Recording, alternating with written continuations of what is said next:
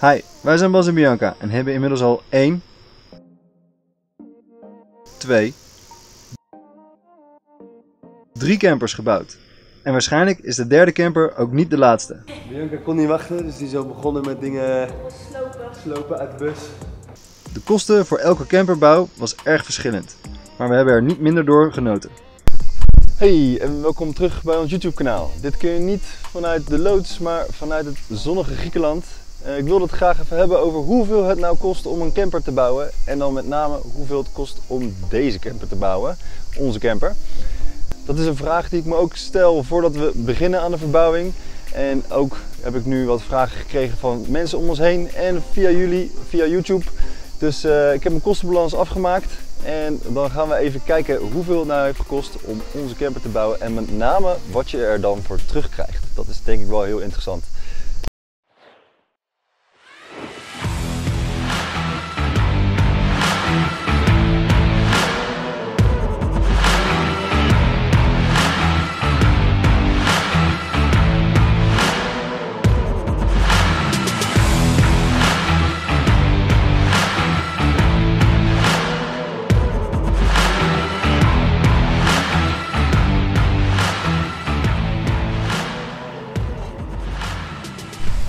Zo. Welkom in mijn kantoor. Kijk, de koffie die staat al. En ook natuurlijk badkamer slash keuken, woonruimte en slaapruimte. Niet een verkeerde kantoor, al zeg, je al zeg ik het zelf. Nou, denk je misschien bij jezelf, jeetje, wat zijn deze mensen opgeruimde camperaars. Maar dan zal ik je alvast verklappen, dat zijn we niet.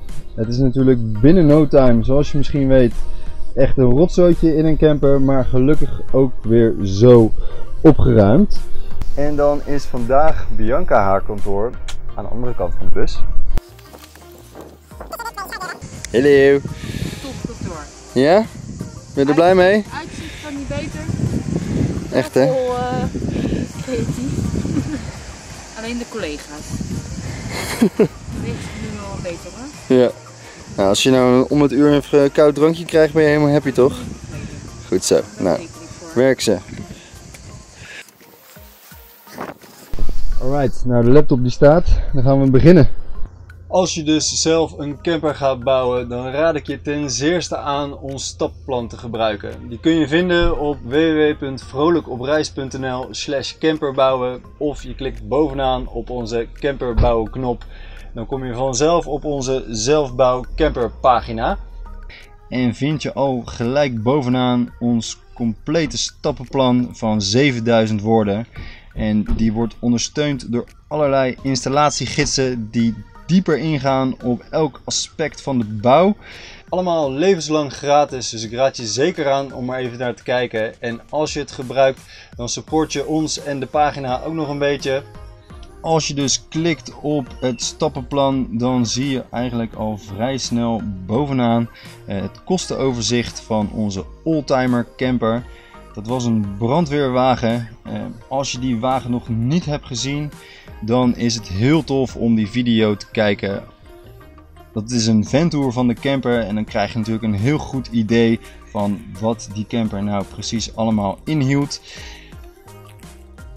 Het was een vrij basic camper, al zeg ik het zelf. Je hadden geen warm water in de camper. Wel hadden we een buitendouche met warm water. Eh, de Elektra was super. We hadden zonnepanelen, een accuscheider die dan de huishoudaccu's opladen als we aan het rijden zijn. En zo hoefden we ons eigenlijk nooit zorgen te maken over de hoeveelheid stroom. Eh, en de uitstraling van die camper natuurlijk echt fantastisch. En samen met de oersterke OM314 motor was het gewoon echt een hele degelijke camper. Um, de kosten om die camper te bouwen waren toen 4260 euro. Um, dat vond ik echt een heel mooi bedrag voor die camper. Inmiddels is de camper verkocht en hebben we daarvan natuurlijk onze nieuwe camper gebouwd. De Fiat Ducato, lengte 4, hoogte 2 kosten van die camperbouw zijn wel een stuk hoger uitgevallen. Dat ligt hem vooral aan de hoogte en de lengte natuurlijk. maar ook omdat we het gewoon een stuk luxer hebben gebouwd. Ons totaalbudget was dus 18.000 euro. En het is natuurlijk even leuk om te zien of ik daar overheen ga, ja of nee. Ik heb voor elk onderdeel heb ik het percentage ook uitgerekend. Zo kun je goed zien hoe zwaar dit onderdeel weegt op het totaalbedrag. Zo komen we bij het eerste kopje en dat is de Elektra. En zo zie je gelijk ook dat ik overal geschatte en werkelijke kosten neerzet. Uh, de geschatte heb ik natuurlijk vooraf gedaan en uh, de werkelijke kosten heb ik achteraf nadat ik alle bonnetjes had uh, ingevuld. En dan is het natuurlijk wel leuk of ik eronder blijf, ja of nee. Mijn schatting voor de Elektra lag dus op 1860 euro. En uiteindelijk waren we 1675 euro ervoor kwijt. En dat is met name te danken aan de accuscheider, zoals je kunt zien. Uh, ik ben echt best blij met dit bedrag. Het had veel hoger kunnen zijn als we bijvoorbeeld voor lithium accu's hadden gekozen en een onvormer lader van Victron. Hier hebben we goede alternatieven voor gevonden die een stuk minder kosten en beter binnen ons budget passen. AGM accu's zijn echt prima accu's voor in campers, voor in campers en kunnen tot wel 70% ontladen worden. De belangrijkste reden dat ik dus hiervoor gekozen heb, is dat ze dus minder kosten. En uh, de voordelen van lithium accu's, en dat is dat ze 95% ontladen kunnen worden en een stuk lichter wegen. Maar ja, die passen dus niet helemaal in mijn budget. Voor de omvormer heb ik voor het Duitse merk Active gekozen. Zij maken prima omvormers wat mij betreft en laders en combinaties. En voor een zachter prijsje dan Victron. Victron is denk ik wel echt de marktleider en als jouw budget het dus toelaat, zou ik deze aanraden. Maar wij gebruiken het merk Active al een tijdje en zijn er zeer tevreden over. Voor de laadregelaar van de zonnepanelen hebben we wel Victron, omdat ik gewoon geen goed alternatief kon vinden en Victron gewoon het meest efficiënt is. Ook de Bluetooth optie, zodat ik de status van de zonnepanelen kan aflezen op mijn mobiel, vind ik echt een fijne optie. Uh, de zonnepanelen hebben we 300 watt en ja, we hebben zoveel opbrengst nu dat we dus ook hier nu geen enkele zorgen hebben over de hoeveelheid stroom in de bus. De accuscheider van Victron, zoals ik net al zei, viel echt een stuk goedkoper uit. Uh, ik had verwacht dat we een DC-DC lader nodig zouden hebben, uh, omdat we dus nu geen slimme dynamo in het voertuig hebben kon ik kiezen voor de Sirix CT, ook van Victron. En die is gewoon een stuk goedkoper. Het kopje ramen. Voor ons echt een must in een camper zijn ramen.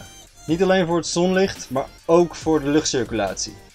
Omdat we niet superveel ramen hebben geïnstalleerd, zijn de kosten voor de ramen wel laag gebleven. Voor ons was het belangrijk dat er een dakraam met een ventilator kwam. En het is de MaxFan Air Deluxe geworden. Dit is wat ons betreft de beste op de markt en kan dus ook ventileren wanneer het regent. Andere dakramen met een ventilator kunnen dit niet en regen zorgt voor temperatuurverschil en dus beslaat de camper, met de MaxFan dus niet. Je hebt hierbij natuurlijk wel ook een ander raam nodig, anders kun je geen luchtcirculatie toestaan. We hebben dus een dakraam zonder ventilator achterin de bus en we hebben een zijraam, ook gewoon omdat we naar buiten willen kijken, maar ook voor de luchtcirculatie. Als je dus meer ramen gaat installeren, dan zal dit bedrag een stuk hoger zijn. Volgens ons kun je pas echt aangenaam in een camper verblijven wanneer deze goed geïsoleerd is. Isolatie zorgt ervoor dat de warmte buiten blijft wanneer het koud binnen is. En andersom ook. Het houdt de warmte binnen vast wanneer het buiten koud is. Ook zorgt het ervoor dat je geen condensvorming krijgt op je metaal. Je leeft in je bus en dus stoot je warmte uit. Condens op het metaal zorgt uiteindelijk voor roest en roest is echt het allerlaatste wat je wilt in je nieuw gebouwde camper. Wij hebben dus de wanden en het plafond geïsoleerd met Armorflex. De oppervlakte hiervan is ongeveer 21 vierkante meter. We hebben gekozen voor Armorflex vanwege de prima isolatiewaarde en omdat het gemakkelijk aan te brengen is. De ontdreuningsplaatsen zorgen voor akoestische isolatie. Dit maakt veel verschil tijdens het rijden, maar ook wanneer we stilstaan. Het vilt hebben we alleen aangebracht op moeilijke bochten en rondingen van de bus. Dus boven de deuren en een beetje ernaast. Hier hadden we dus niet heel veel van nodig. Ook het plaatmateriaal krijgt een apart kopje. Het meeste plaatmateriaal wat we hebben gekozen is populierenhout. Dit is vrij duur, maar wel echt licht. Ook voor het plafond zijn we voor vuren schootjes van 7 mm dik gegaan. Ook vuren is licht en helemaal wanneer het maar 7 mm dik is. Voor de vloer hebben we PVC gekozen, omdat dit goed tegen water kan. Je zou denken dat PVC licht van gewicht is, maar omdat het een vrij dikke kwaliteit PVC vloer was, was deze nog best zwaar en dus duur. De keuken viel iets duurder uit dan ik had gedacht. Een 12 volt compressorkoelkast is normaal gesproken het duurste item in een camper. Maar hier had ik een mooi alternatief voor gevonden, maar nu in gebruik ben ik semi tevreden. De isolatie van de koelkast laat echt wel de wensen over, waardoor deze vaker aanschiet dan dat ik zou willen. In onze andere camper hadden we een koelbox en die was goed geïsoleerd en ook bleef daar de kou onderin makkelijker hangen. Uiteindelijk, achteraf gezien, ben ik niet helemaal verbaasd dat de keuken 1260 euro kostte. In de keuken plaats je vrij veel voorzieningen en dus lopen de kosten al gauw op. Bij de binnendouche zat ik niet helemaal goed met mijn schatting. Deze viel een stuk hoger uit dan ik van tevoren had gedacht. Maar het was dan ook de eerste keer dat we een binnendouche gingen bouwen. Al ben ik alsnog steeds redelijk tevreden over de uitgaven voor de binnendouche. En zijn we natuurlijk mega blij met een binnendouche. Uiteraard is dit voor iedere camper anders en ligt het eraan of je er ruimte voor hebt en of je er behoefte aan hebt. Het bouwen van de douche kostte ons meer dan twee weken. En verder was ik ook echt heel erg verbaasd over hoeveel kit ik moest kopen en hoe duur deze bussen wel niet zijn. Als je geen binnendouche gaat bouwen, kun je natuurlijk gemakkelijk dit bedrag eraf halen. Oké, dan zijn we alweer bij het laatste kopje. En dat is het watersysteem. Watertanks voor campers kunnen echt heel prijzig zijn. Helemaal wanneer je een watertank wilt die precies over je wielkast past of precies tussen het chassis valt. Dan kun je een prijs verwachten van rond de 250 euro of wel meer. Dat hebben wij dus niet gedaan en zo konden we de kosten voor onze camperbouw ietsjes meer drukken. Door de waterboiler zijn we alsnog in dit kostenbalans flink over de verwachtingen heen gegaan. Warm water in de camper was gewoonweg een ijs. Ik dacht uit de voeten te kunnen met een mindere boiler, maar las al snel op het internet slechte recensies en dus ben ik toch voor de Truma B10 boiler gegaan. Een flink prijskaartje, maar echt elke cent waard. Helemaal als je een binnendouche gaat bouwen. In onze andere camper hadden we een buitendouche en dus ook een mobiele boiler. Deze kostte een stuk minder en was echt perfect voor een buitendouche. Hier zijn we dus weer bovenaan in onze kostenbalans. En zie je dat we 20.942 euro hebben uitgegeven. Halen we hier even de kosten voor het huren van de loods vanaf, want niet iedereen heeft dit. En omwille van dit kostenplaatje is dat ook wel leuk. Komen we op 18.092 euro. Als we dus niet de huur hadden gehad, dan had ik daar best wel heel goed in de buurt gezeten. De kosten voor alleen het bouwen van de camper zelf, dus zonder het voertuig, komt dan uit op 8.592 euro. En dat bedrag voor een luxe camper, al zeg ik het zelf, vind ik niet veel geld.